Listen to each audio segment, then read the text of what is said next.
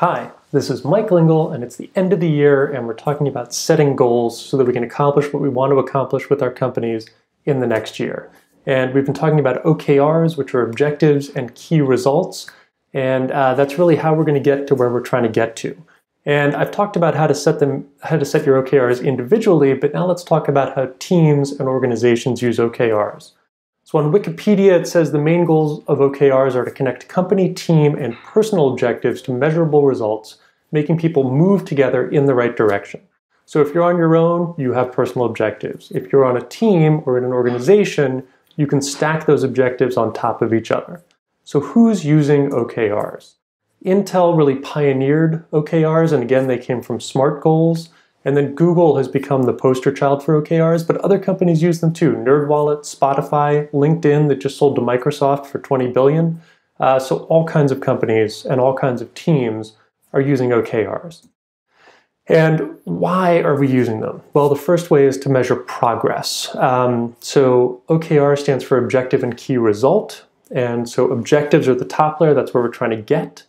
The key result is how we measure that, so we can measure our progress. And then there's a third layer that they don't talk about as much, which is the key actions. And that's what everyone's doing in their day to day to move things forward. And so we can measure our progress. And we can also focus on what's important. If I know that these are my three objectives, if I have some task, I can decide is it helping me achieve those objectives or not? And if it's not, I can deprioritize it. So I can also filter out what's not important the same way I can focus on what's important. And time management is something that entrepreneurs uh, fight with all the time. People are always asking, how do I know what to work on or what to focus on? The answer is OKRs. Uh, and the last way is to communicate with others. Uh, and that goes back to that Wikipedia quote.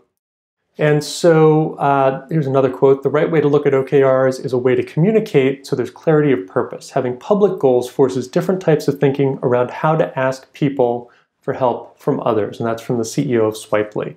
So basically, if you're at Google, the organization has OKRs, your team has OKRs, and then the members of your team all have individual OKRs. And it all feeds up. So your OKRs feed into the team OKRs, feed into the corporate OKRs. And everyone can see each other's OKRs, so it's all public. So again, if I want to get something done, I can look at your OKRs and see is what I'm going to ask you, does that align with your objectives or not? And I can filter out um, your task list for you, and you can filter out your task list the same way. So as a group, we all focus on what we need to, and we can measure if we're getting to where we're trying to get to. So thank you so much. Give it a shot. If you're on a team, you know, come up with some team goals and then bring it down into your own personal goals, share them with each other, allow yourself to see each other in motion as you're moving ahead, and uh, subscribe, watch the channel, visit the uh, visit my website at mikelingle.com. Let me know how it goes. Thank you.